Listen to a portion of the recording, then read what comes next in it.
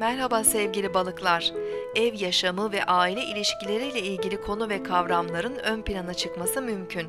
Çeşitli aile içi sorunlarla ilgilenebilir, fikir ayrılıklarından çıkan çatışmaları giderebilirsiniz.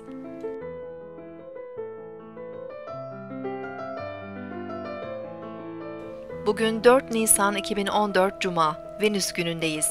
İkizler Burcu'nda ilerleyen ay güne meraklı ve hareketli enerjiler veriyor.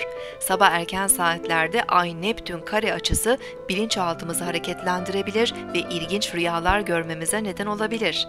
Öğle saatlerinden itibaren ay, güneş ve Uranüs'le olumlu görünüm yapacak. Sosyal ilişkiler ve iletişim konusunda destekleyici enerjiler devrede olacak. Zihinsel olarak yaratıcılığımız artacağından ilginç fikirler üretebiliriz. Gün boyu kısa seyahatler yapabilir, yakın çevremizde olan ilişkileri güçlendirebiliriz.